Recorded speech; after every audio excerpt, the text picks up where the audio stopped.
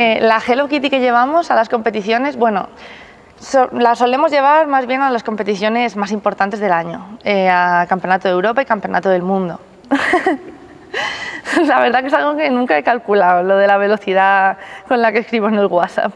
Pero sí que es verdad que estamos muy ágiles y usamos mucho el WhatsApp. Eso siempre me lo dicen. ¿Eso quieres que te lo diga? Madre mía.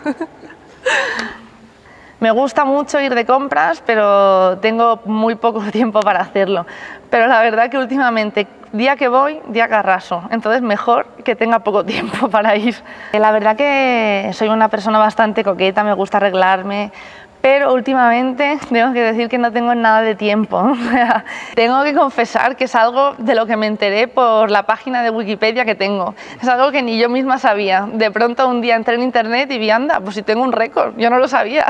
lo de ser madre es algo que, que sí que entra en mis planes, pero por supuesto no ahora mismo. Soy muy joven, tengo 22 años y además mientras siga vinculada a la gimnasia sería algo totalmente incompatible.